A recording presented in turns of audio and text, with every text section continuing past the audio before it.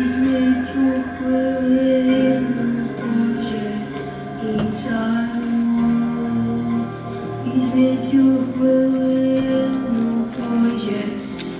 Panu, izmi kožen slovo Bože, kožen.